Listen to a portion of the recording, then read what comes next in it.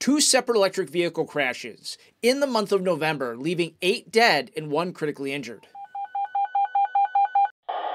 A fatal crash often gets little to no media coverage.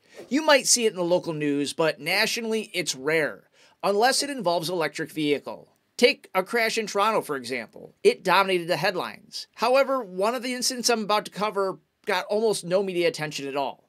There's a critical flaw in some newer electric vehicles that hardly anybody's talking about. But stick around. I'll show you where the real issue might lie. This video is sponsored by me, StacheD Training. I provide customized training and consulting nationwide for fire departments and industry professionals.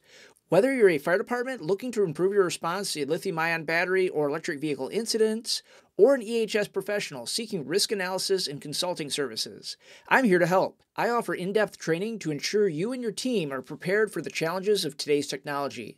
Reach out for a quote today and let's work together to make your operations safer. On November 1st, 2024, a tragic single car crash in the town of Verona, Wisconsin, claimed the lives of five people.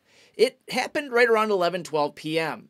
It was a 2016 Tesla Model S. It veered off the road and collided with a tree. It instantly burst into flames.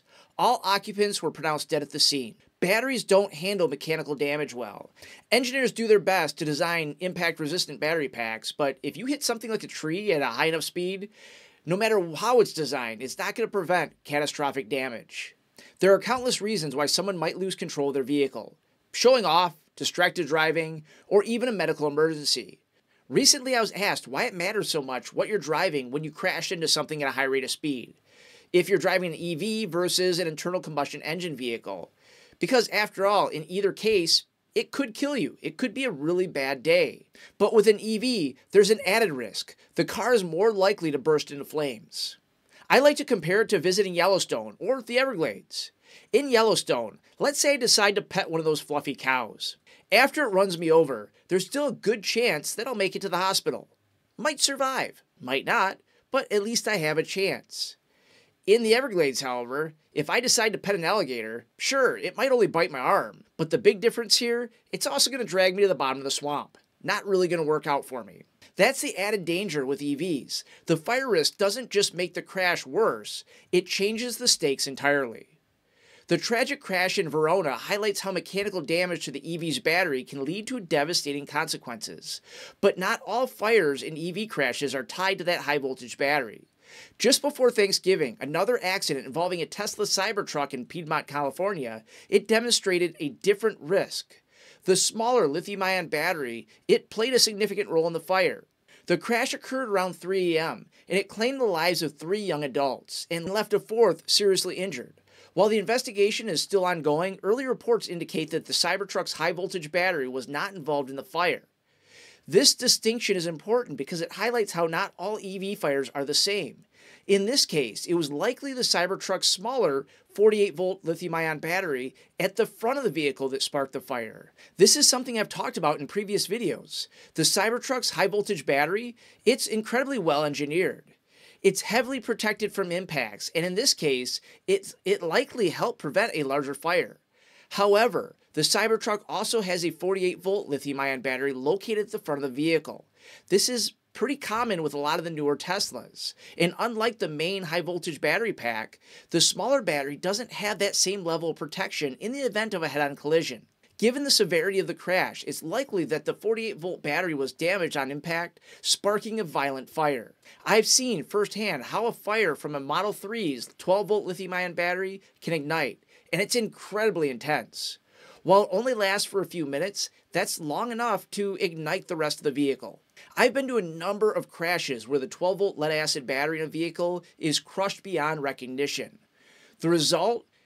You might get something sizzling maybe a little smoke, but typically the battery acid all leaks out of the case and very little happens after that. But for certain electric vehicles, there's even a bigger issue when you lose that 12 volt or 48 volt battery. When that battery is destroyed, the vehicle loses all power to the doors and windows. If the occupants in that vehicle they don't know how to use the manual release handles or they don't know where they're at, they're effectively trapped inside. And remember, During emergencies, it all comes down to muscle memory. People often lose the ability to critically think in high stress situations. It's also important to note that the driver's behavior plays a huge role in these crashes. With instant torque and speed available the push the accelerator, EVs can unintentionally encourage risky driving if the driver isn't cautious. This isn't unique to the Cybertruck, it's a challenge faced by all high performance vehicles, including electric vehicles. Now, let me address the elephant in the room. Gasoline cars, yes, they can catch fire after a crash. Just this week in Detroit, a wrong way driver caused a horrific collision on the Lodge Freeway. It resulted in a fatality.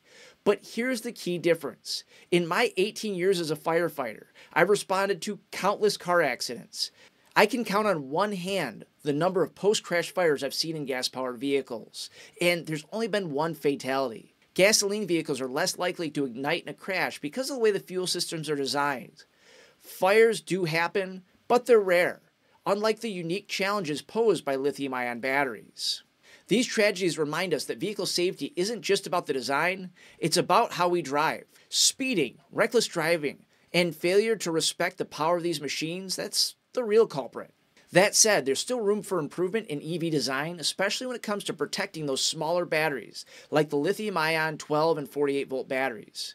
But remember, no amount of engineering can fully protect us from the reckless decisions that people make. At the end of the day, safety isn't about the design of the vehicles, it's about the choices we make. As Mike Rowe says, safety third. Personal responsibility, that starts with us.